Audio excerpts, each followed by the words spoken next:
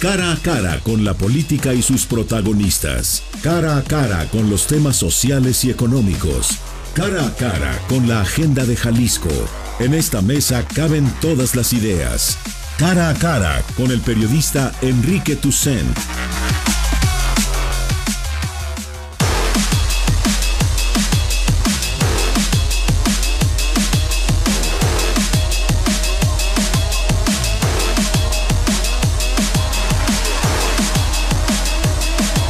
Nueve de la mañana con cinco minutos, mitad de semana, 25 de enero. Estamos totalmente en vivo, en cara a cara. Hoy el presidente Trump, el presidente de los Estados Unidos, anuncia la, la, la, continuación de la construcción del muro, porque hay que recordar que el muro en la frontera entre México y Estados Unidos ya tiene un avance de en torno al 30% que comenzó desde la administración de, Bill Clinton, desde la administración demócrata en los noventas.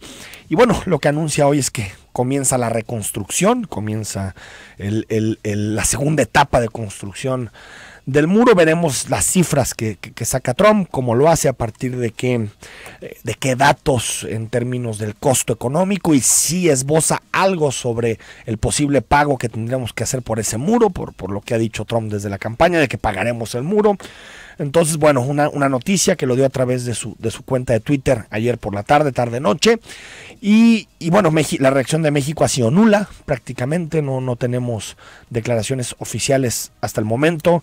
El presidente Peña tiene que visitar a su homólogo, a, a Donald Trump el próximo martes 31 de enero. Se supone que tiene que estar en Washington. Y uno de los puntos que supuestamente quería poner sobre la mesa era, era este tema del muro. Eh, yo creo que que sería un buen momento para que el presidente Peña suspendiera la visita. Eso no quiere decir suspender las negociaciones. Siempre puede haber equipos negociando y puede haber equipos de ambos países tratando de encontrar soluciones a la agenda bilateral. Lo que sí parece difícil es que con un presidente que así te recibe una semana antes de que vayas a Washington, te dice el muro va porque va y lo único que vamos a debatir tú y yo es de qué forma me lo pagas creo que un mensaje de dignidad y de insumisión frente a lo que está haciendo Estados Unidos sería que el presidente Enrique Peña Nieto suspendiera su viaje a Washington. Está bien si van Videgaray, está bien si va de Alfonso Guajardo y comienzan a trazar la relación bilateral, la ruta, sobre todo el Tratado de Libre Comercio y bueno, una agenda muy compleja la de la relación bilateral entre México y Estados Unidos. Pero eh, creo que los mexicanos en este momento están demandando un poco más de sensatez, de dignidad nacional y de independencia y autonomía con relación a lo que está haciendo Donald Trump. Veremos las reacciones en próximas horas y veremos también el anuncio que haga el nuevo presidente de los Estados Unidos, el presidente número 45 de la historia de los Estados Unidos. Pero ya hablamos de un tema más de aquí, un tema más de la localidad que tiene que ver con la movilidad. Y para eso saludo a Mario Córdoba, director del Instituto de Movilidad. Mario, muy buenos días. ¿Qué Enrique? Buenos días, un gusto estar aquí. Un gusto como siempre que nos acompañes, que estés aquí para platicar.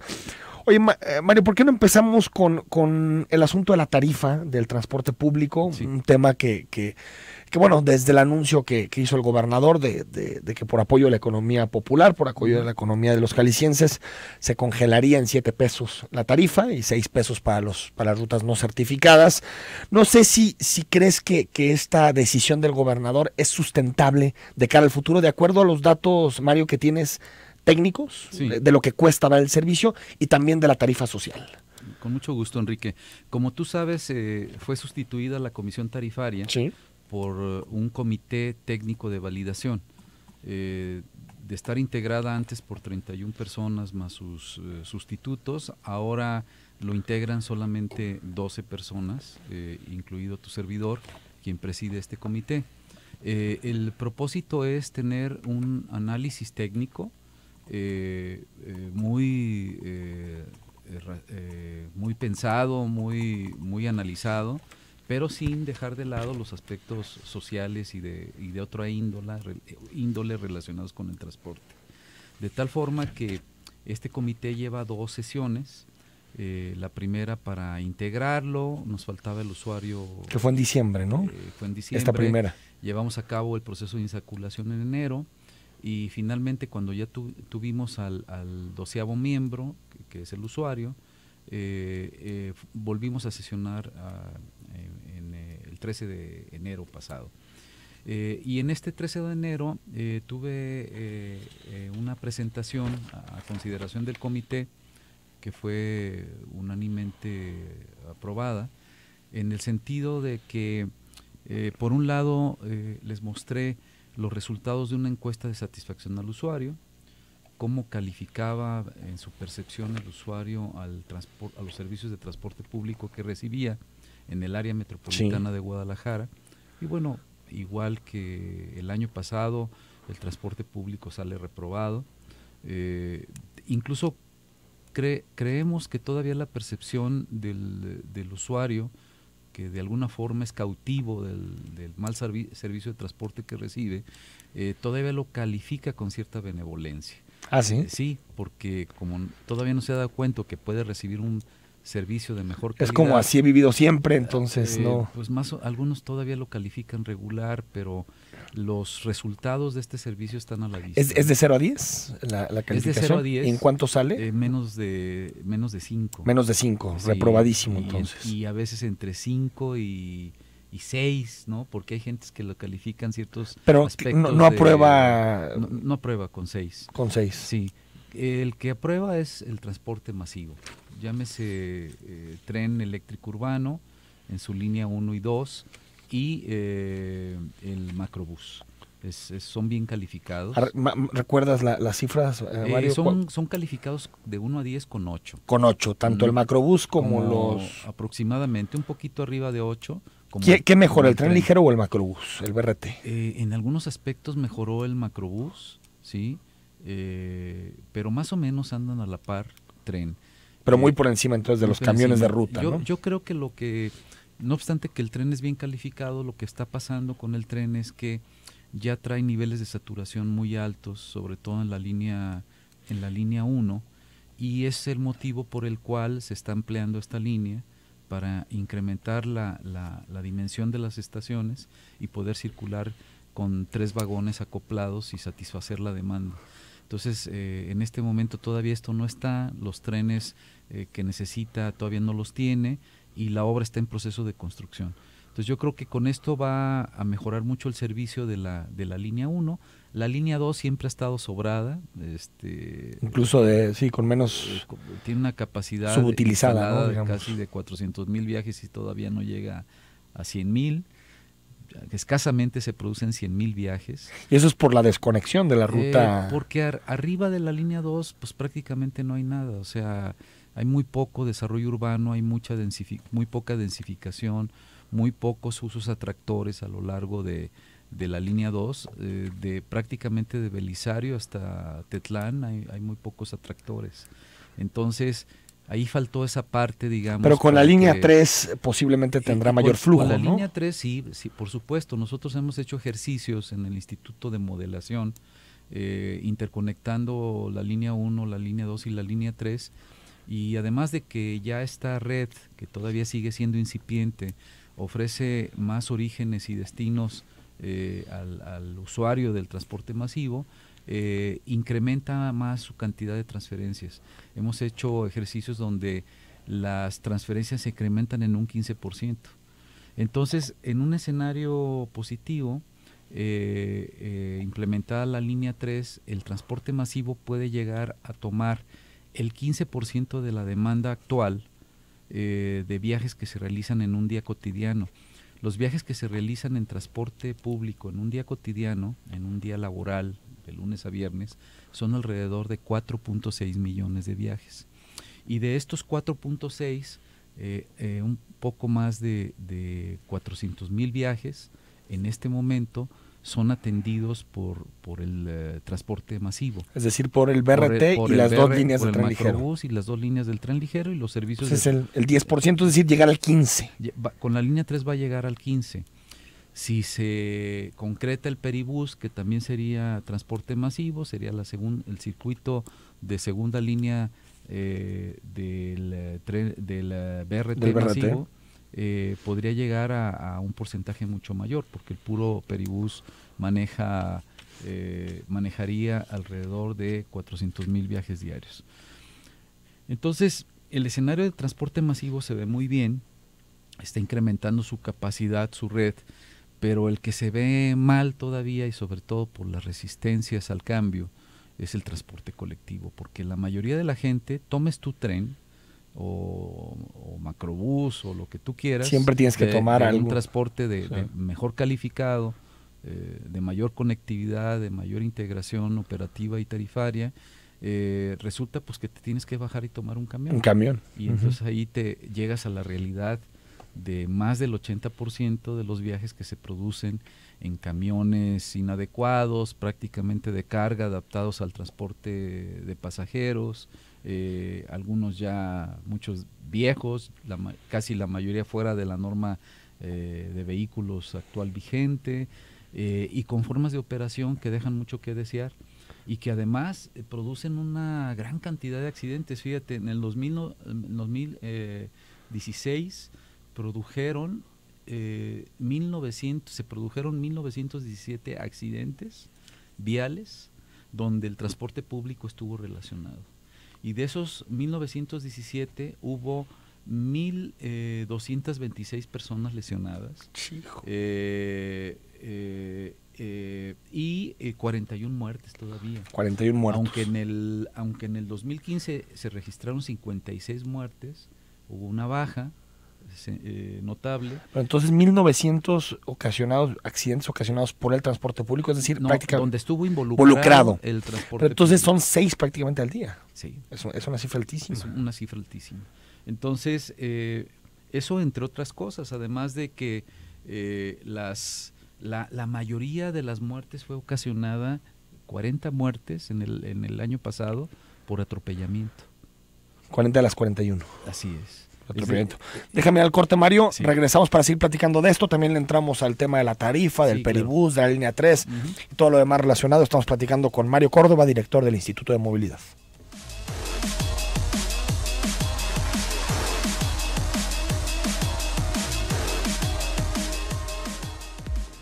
Relájate en el 91.5 FM. Contenidos con toda la fuerza de la palabra. Continuamos en Zona 3. ¿Cuáles son tus propósitos para este 2017? Que sigan llegando empresas internacionales a esta región.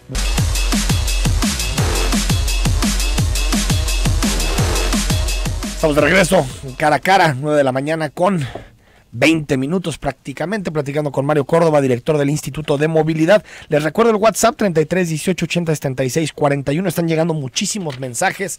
Estamos platicando sobre temas de movilidad. En la ciudad comenzamos, eh, eh, Mario, platicando sobre los resultados de la encuesta que realizaron a los usuarios. no sé si quieras que puntualicemos algo más para pasar al tema de la tarifa. Hay muchos elementos, pero yo creo que por eh, obviedad del tiempo podemos pasar a, a otros temas. Entonces te comentaba en el comité, presentamos esta encuesta. Después, todas las externalidades negativas que desafortunadamente presenta este servicio, sobre todo en autobuses. Y a partir de ahí eh, presentamos un análisis de eh, la cuestión de la tarifa social. Sí. Eh, o sea, ¿cuál sería la capacidad de pago de los usuarios del usuarios del transporte público, ¿no? Y nos encontramos, aprovechamos esta encuesta de satisfacción para saber eh, que tiene un nivel de confianza del 95% con un margen de error de más o menos 2.5%, eh, eh, le preguntamos al usuario cuánto gastaba diario en transporte público y cuál eran más o menos sus niveles de ingreso. Entonces detectamos que el 40.4% que gana entre un salario y dos salarios mínimos es el sector más vulnerable es el que más gasta en transporte. Eh, gasta en promedio 22.6 eh, pesos diarios. O sea, prácticamente son 7 eh, por 4. O sea, si, si gana entre uno y dos salarios, que son 80 más 80, 160 pesos, entonces está gastando entre el 25% y el, sí, el 20 y el 25% de su salario. Y entonces eso significa que, el único referente de cuál debería ser el gasto en transporte en general es eh, la recomendación que se hace para la distribución de la canasta básica eh, en base al índice nacional de precios al consumidor. Y ahí se recomienda que eh, tú debes gastar en transporte en relación con tu, con tu ingreso el 13.6%. El 13.4%. Entonces en estos casos está arriba. Entonces, este, en estos casos está arriba y una persona de este rango eh, eh, solamente podría pagar 6.92 pesos. 6.92. En esta recomendación. Y se me hace alto. Está, gastando. Entonces, ¿qué está sucediendo en este momento? Sí, y, la, petición era 8 o 9 pesos de parte de los transportistas. La tarifa vigente, la tarifa vigente son 7 pesos, que fue la que se autorizó en diciembre del 2013. No ha cambiado hasta la fecha. Eh, hubo un acuerdo a partir de un lamentable accidente que regresó la tarifa a 6 pesos y quienes han ido cumpliendo con ese acuerdo, de acuerdo a la, la, certificación que hace la Secretaría de Movilidad, eh, ha estado eh, cambiando de 6 a 7 pesos. Creo que faltan ya muy pocos para, para llegar a 7 y la mayoría están cobrando ya 7 pesos. El gobernador toma la decisión de, de congelar esta tarifa y y no autorizar nueva tarifa si no es bajo el modelo ruta empresa. O sea, si no cambias, si no mejoras tu calidad de servicio, no estamos dispuestos. ¿En cuánto sale la tarifa técnica de acuerdo a los estudios que en ustedes este momento la estamos analizando. Ah, ok. No la presentamos en esta. Pero está muy por encima de la tarifa actual, de los 7 pesos. Por supuesto. Entonces, eh, incluso lo estamos eh, analizando para dos ámbitos, los que están más trabajados en materia de, de ordenamiento del transporte que es la zona metropolitana de Puerto Vallarta y el área metropolitana de, Guadalajara. Que, en Vallarta ya en el asunto de la ruta empresa han avanzado con, más celeridad. Sí, aunque con algunos inconvenientes que han escapado a, la responsabilidad de la Secretaría por problemas eh, ajenos de gente que desafortunadamente ha fallecido y que estaba encabezando estos procesos y entonces se han dilatado en nombrar a, sus sustitutos. Pero esto parece que ya está retomando el camino y esperemos ya pronto la Secretaría de Movilidad de buenas noticias respecto a esto.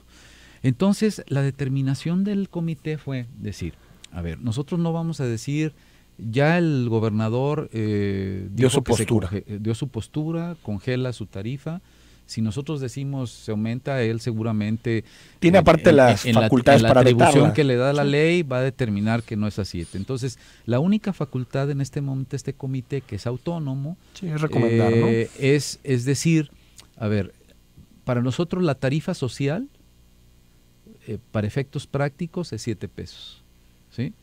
Entonces, cualquier incremento que haya hay que analizar al sector más vulnerable, usuario del transporte público, que es el 40% de los usuarios aproximadamente, para que se establezcan las políticas sociales de mitigación para, para cubrir los, las, las diferencias que haya cuando se tome la determinación de la tarifa de la ruta empresa, ya sea en Puerto Vallarta, pero, digamos, en, un caso hipotético, Mario Córdoba, si todas las rutas fueran, estuvieran operando bajo el modelo de ruta empresa, ¿esta tarifa técnica se iría para abajo? No, esta, esta tarifa técnica sería el referente. ¿Sí? Eso no cambiaría porque el usuario sigue bajo las mismas condiciones económicas. Pero sí sería más eficiente en términos de su administración y por lo tanto la tarifa sería... La, la, tarifa técnica sí sería más elevada porque una, un aspecto que tú tienes que, eh, que no puedes soslayar en la operación del transporte es que sea económicamente sustentable. Entonces, si tú estás eh, promoviendo la constitución de sistemas integrados de transporte bajo un modelo de operación empresarial o rutas, corredores troncales o rutas complementarias bajo este modelo de operación empresarial, estos hombres camión que se les está dando toda la oportunidad de que se asocien, porque individualmente no lo pueden hacer tienen que juntar esfuerzos, constituir una empresa, no nomás va más allá de hacer un acta constitutiva y crear una SA. No, es casi fusionarse. Sino de, de conjuntar esfuerzos, eh, sumar capitales porque hay inversión, tienen que hacer una inversión en material rodante que ya tiene otras características, tienen que reorganizar su empresa, tienen que adquirir tecnología, tienen que instalar el sistema de prepago, tienen que eh, contar con patios de encierro para que los choferes ya no se lleven los camiones a, sus casas y no le metan más kilometraje y no sea más eh, explotador el Pero digamos que la tarifa técnica del hombre camión trabajo de los, de los sí es mayor, Mario, que, la tarifa técnica de la ruta empresa. Ahí sí, habría una diferenciación. Sería más alta que la actual, la de la ruta empresa, pero sería más eficiente que la de, que la de hombre camión. Sí, hay que ganar el usuario. Sí, porque hay en, en el modelo eh, empresarial, de, de, operación empresarial, hay economías de escala que no se tienen a nivel de, hombre camión. hombre -camión. Por ejemplo, no es lo mismo comprar eh, 20 llantas a comprar 500 eh, o 100, ¿no? No es lo mismo comprar un tambo de, aceite a comprar. incluso competir por el pasaje o tener mm, eh, choferes a sueldo. Tener una infraestructura para dar un mantenimiento preventivo y no correctivo como se viene haciendo, en el mejor de los casos. Eh, no es lo. Incluso pueden utilizar sus estímulos fiscales para recuperar impuestos que como hombre camión y con el eh, perfil debajo de, de, pequeños contribuyentes, que algunos no lo son, muchos no lo son, sin embargo pagan sus, sus eh, impuestos como pequeños contribuyentes, pues este, eh, no pueden recuperar estos, estos estímulos fiscales. Pero de cara al futuro, Mario, ¿no es inevitable... Em, que, en algún momento los gobiernos subsidien el transporte público. No es inevitable en todas las ciudades del mundo. En la mayoría, más el, el, subsidio no va hacia el transportista. Totalmente. hacia el pulpo no, claro. Eh, el subsidio va hacia los usuarios. De acuerdo. A ver, ¿qué sucede? Son contextos y economías diferentes, pero ¿qué sucede, por ejemplo, en los sistemas de transporte más desarrollados? No sé, tú estás en la ciudad de Barcelona, ¿sí?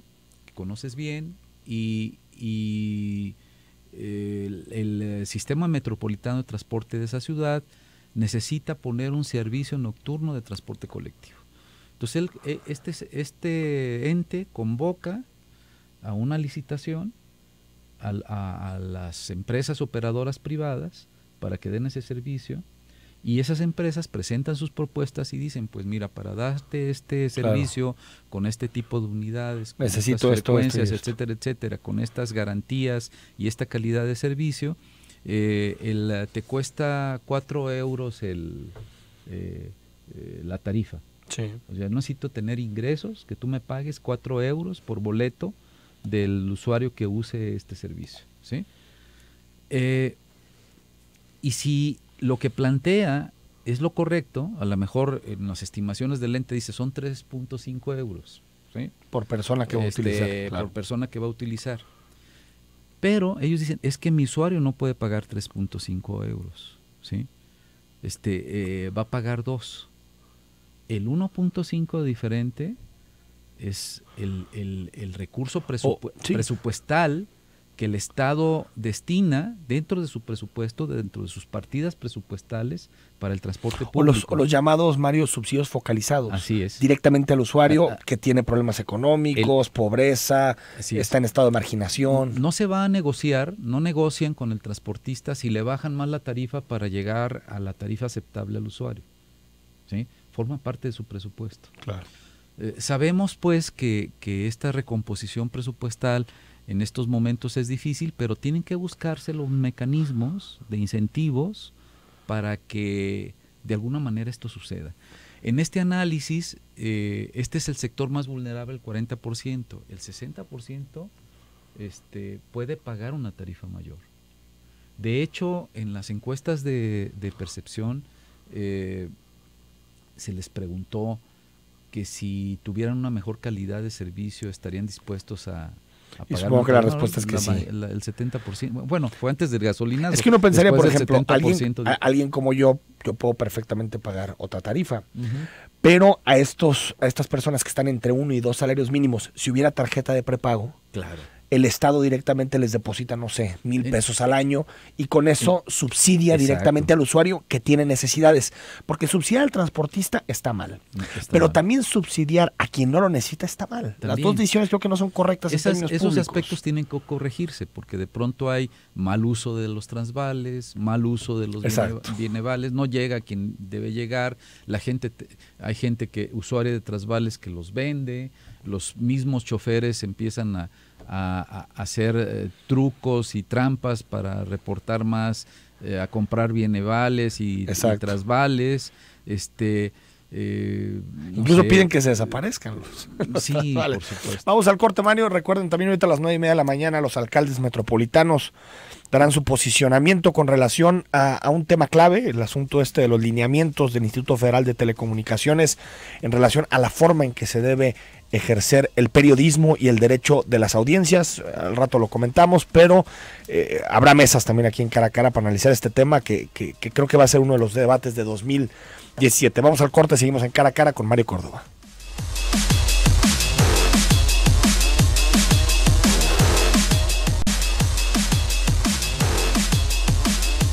9 de la mañana con 35 minutos. Estamos platicando con Mario Córdoba, director del Instituto de Movilidad, que amablemente nos acompaña esta mañana. Te pregunta Manuel Bonilla, eh, Mario. Eh, Enrique, ¿puedes preguntarle a tu invitado su opinión sobre la consulta popular que está en trámite en el IEPC para retirar la ciclovía de Boulevard Marcelino García Barragán? Tú y yo platicamos de este tema ya hace un par de meses, pero no sé si quieras dar tu opinión sobre la consulta en sí. Bueno, yo creo que es un derecho, ¿no? Que que puede solicitar cualquiera para, para una consulta. En ese sentido, pues no estaría yo en contra de, de cualquier iniciativa que tenga un fondo democrático y justo, ¿no? Lo que me parece injusto es que en este tipo de temas tan difíciles como es crear eh, infraestructura para una modalidad eh, no motorizada, eh, noble, etcétera, que, cuyos ciclistas necesitan protección ante la invasión motorizada de todas nuestras calles, eh, pongamos, eh, antepongamos los intereses de la movilidad motorizada sobre las personas que noblemente se mueven en este medio. Entonces, las discusiones que se presentan al respecto son de gentes automovilistas que no quieren para nada a los ciclistas en las calles que discuten cualquier protección de ellos. Entonces. O con que quiten un carrilito, eh, con eso, o, medio carril. Segreguemos cualquier parte y. Eh, para proteger a los ciclistas porque es una vida que está circulando, que no está contaminando, que está haciendo ejercicio para desplazarse, eh, que no está ocupando. Que el, Estado lo tiene que proteger. Y el es, una obligación. Y además es una política pública del gobernador del Estado. Y, déjame decirte una cosa, perdón Mario, es cierto las consultas son algo fundamental en democracia, fundamental de relación entre, entre gobernantes y gobernados. Sin embargo, desde mi punto de vista no tienen legitimidad las consultas que buscan quitarle derechos a otros. Así es. Es decir, una consulta para una política pública, estoy totalmente de acuerdo, pero lo que no se puede es una consulta para que quien utilice cierto tipo de vehículo, o por ejemplo, mañana una consulta para quitar banquetas. O sea, Creo que esa sí no es democrática. Y además ¿eh? Eh, sobre las mayorías, ¿no? Sí. Y, descartando las minorías. O sea, si yo me muevo en bicicleta, ¿qué? ¿No tengo derecho a tener un espacio digno para moverme? Imagínate, en este momento, no por fines recreativos, tenemos más de 300 eh, mil ciclistas que se están moviendo en la ciudad. Que ya es un... Este, sí, claro. Pero... pero en condiciones precarias. ¿qué, hacemos contra muy precarias y muy expuestas, con muchos riesgos? Eh, simplemente en este año ya van dos ciclistas muertos por eh, atropellados, este, se están jugando la vida eh, por transportarse en este medio. pero ¿cómo podemos, si se consultan a un millón y medio de automovilistas o más, o los que sean, ah, pues es es obvio que, pues, y la mayoría se impone sobre la minoría. Esta, consulta pues parece no tener sentido en cuanto a los fines de una política de movilidad eh, urbana sustentable. antes de, leer más, eh, Mario Córdoba, hablábamos eh, del asunto del subsidio. ¿Tú descartas, digo, yo entiendo que es una decisión del gobernador, pero descartas que este año hay, algún subsidio a, los camiones? Yo creo que el, el gobernador está, tengo entendido, revisando temas en los que pueda impulsar la transformación del modelo de transporte vía, por ejemplo, eh, adquisición de vehículos de gas natural comprimido con el apoyo federal. incentivos dirigidos a transformación del transporte ah, público y al ruta, ruta empresa. ver la cuestión de los boletos de descuento, eh, ver eh, los beneficios económicos que se puedan obtener con la chatarrización.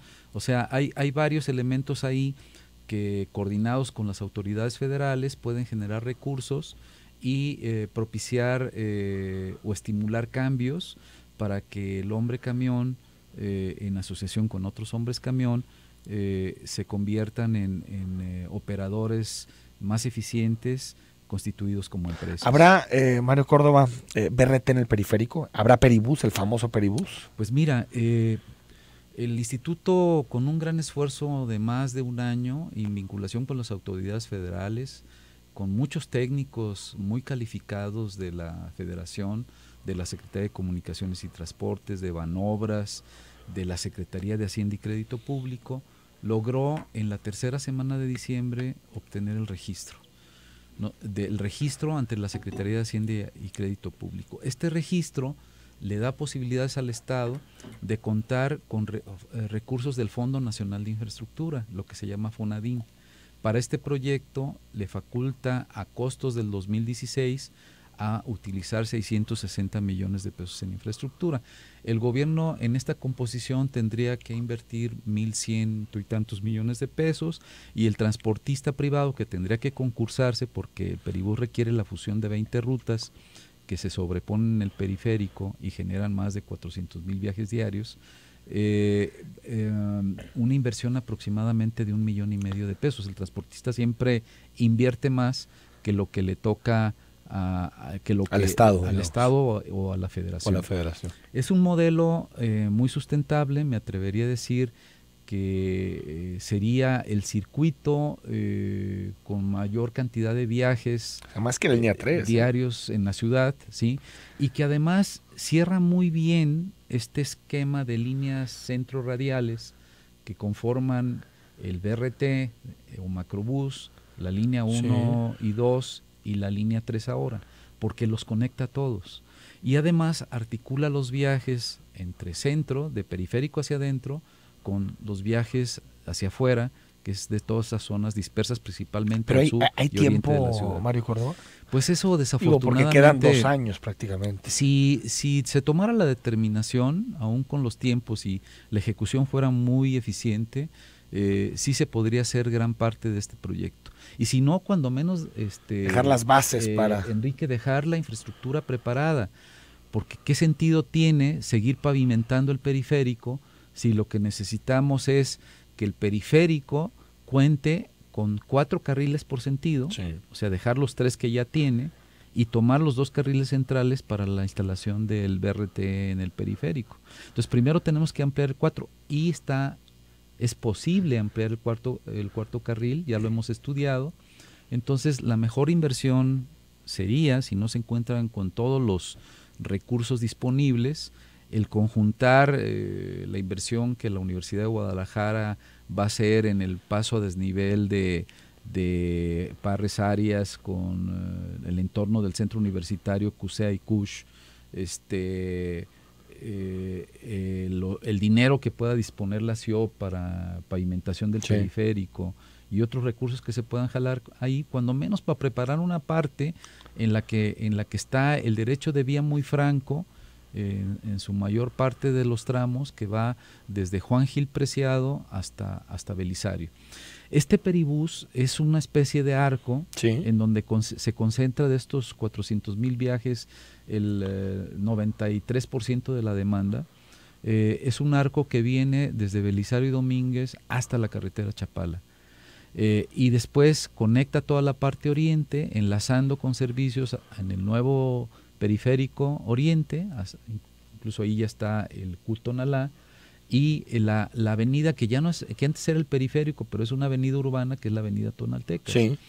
Eh, en el momento que esa demanda, se consolide la demanda del periférico al, al, nuevo periférico, eh, el, el, el, eh, el peribús puede ir creciendo hasta allá. Entonces, es muy adaptable a... Muy adaptable, además es una infraestructura. Los vehículos pueden ser eh, utilizados, pueden ser vehículos el, híbridos, el costo final sería más o menos cuánto, eh, digamos, eh, prospectivo. ya en costos del 2016, no puedo hablar ya no, ya. porque...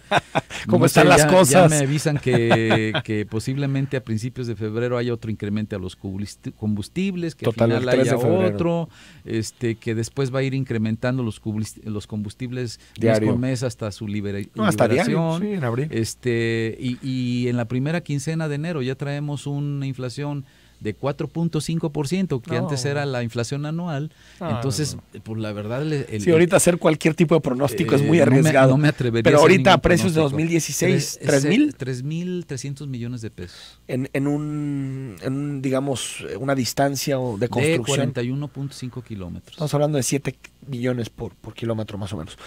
es, una inversión muy baja. vamos al corte y, y, regresamos para seguir platicando con Mario Córdoba y ahora sí leer todos los mensajes que son muchos en torno a este tema, transporte público, transporte colectivo. Regresamos.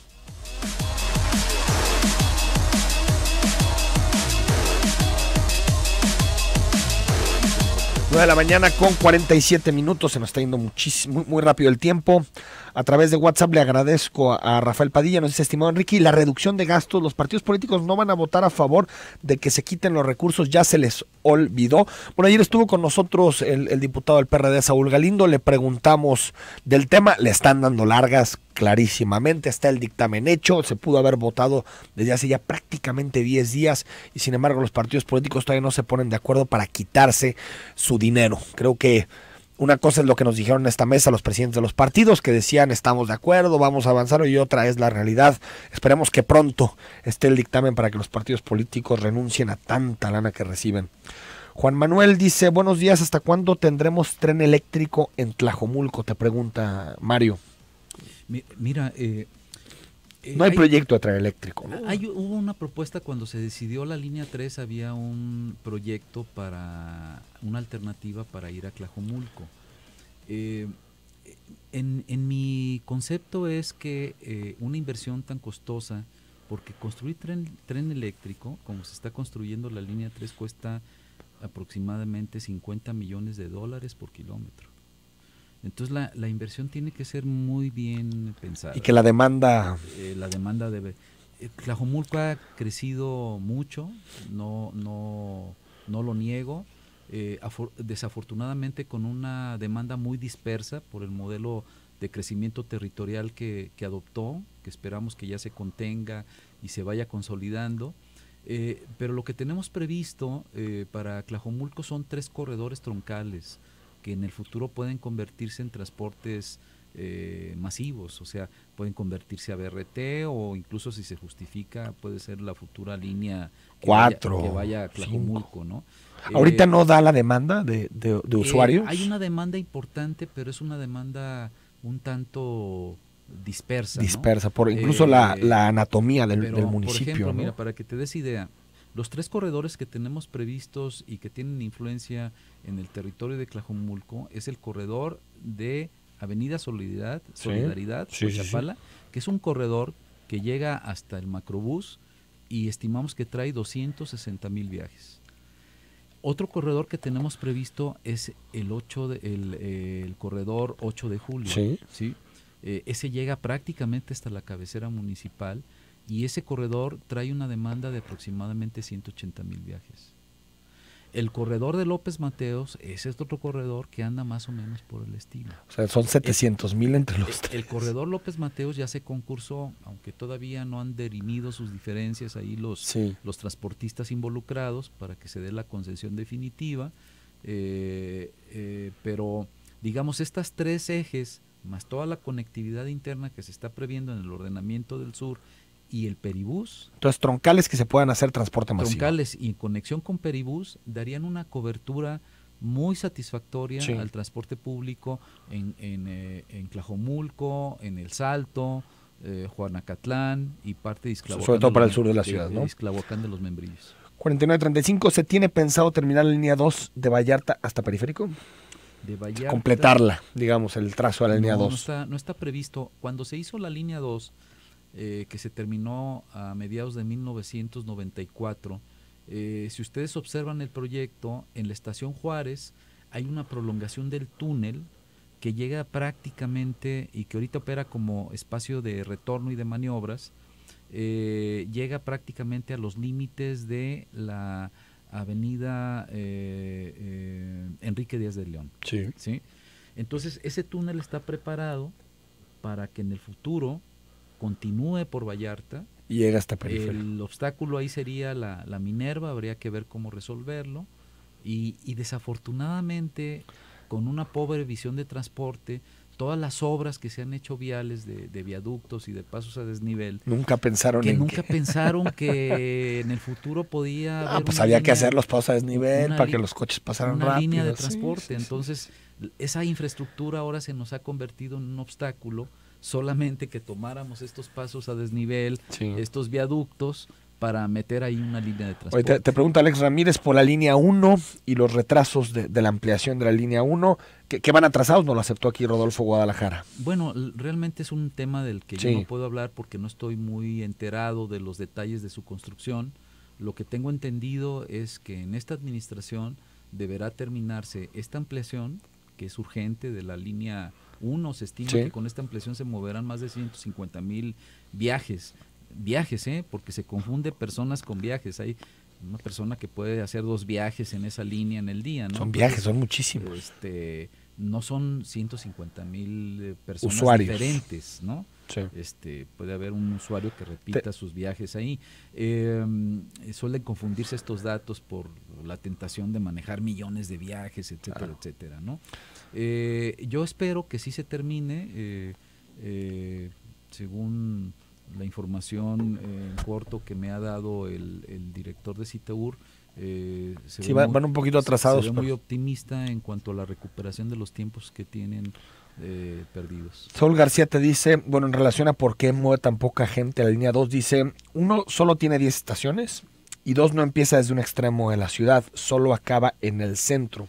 Ahí sí hay mucha gente que amplíen desde Tonalá hasta el Bajío en vez de usar dos líneas del Citren y verá cómo tiene mucha más afluencia. Sí, no lo dudo, ¿eh? ¿eh? no lo dudo en eso.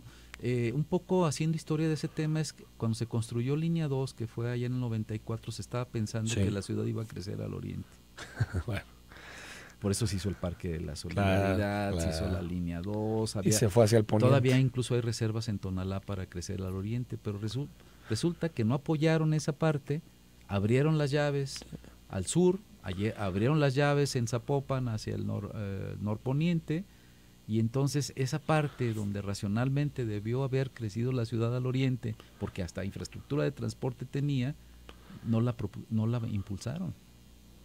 Sí, 40-28. Los integrantes de la nueva comisión no tienen nada de técnicos. De manera errónea quitaron a los municipios que hoy cuentan con áreas técnicas con capacidad de análisis de la tarifa. Creo que es una miopía que lo único que están logrando es alargar el problema. La certificación de rutas llegó a más del 30% y el usuario sigue disminuyendo su percepción. ¿No será que la política instruida sea errónea? Bien, en primer lugar debo decir que la determinación del cambio de la comisión tarifaria y la no participación de los municipios fue una decisión del Congreso del Estado.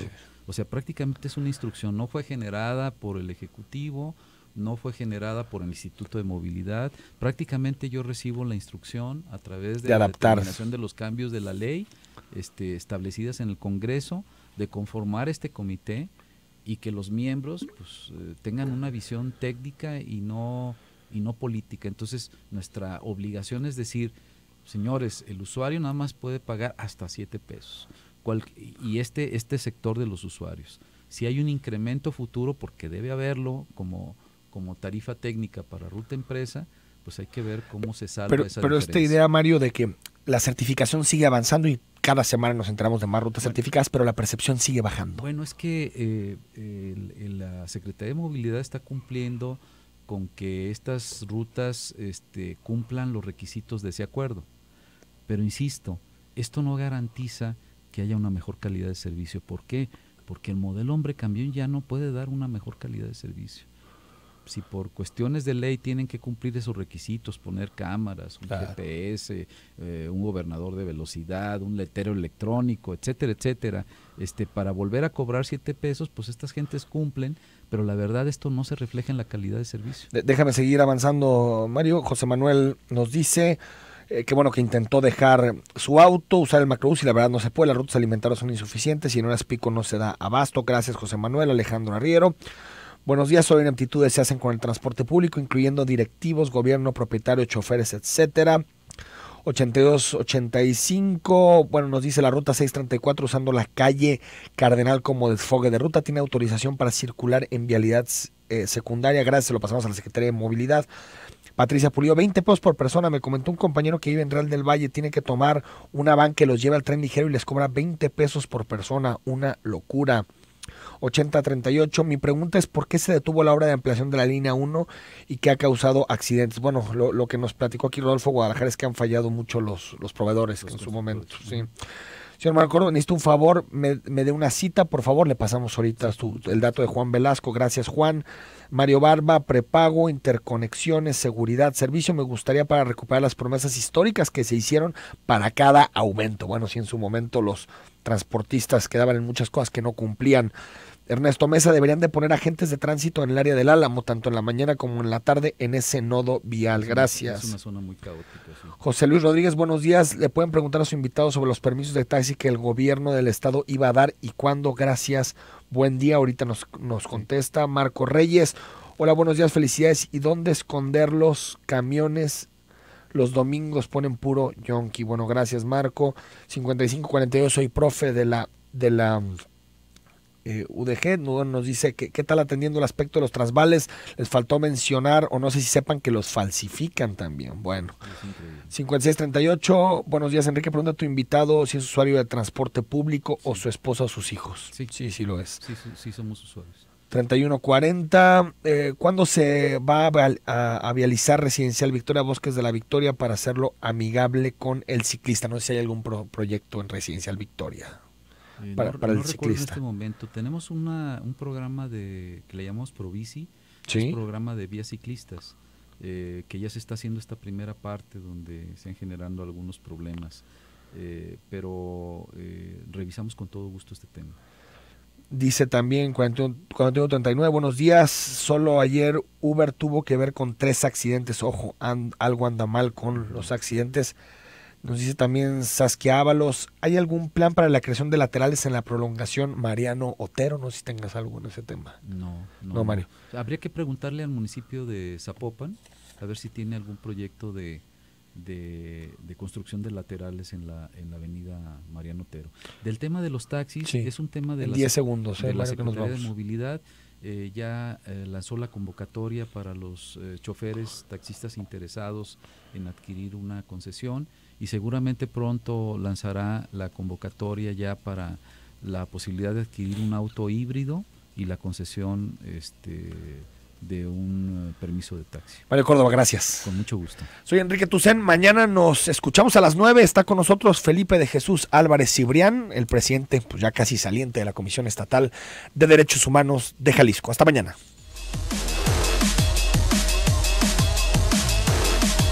Tiene agentes antiinflamatorios que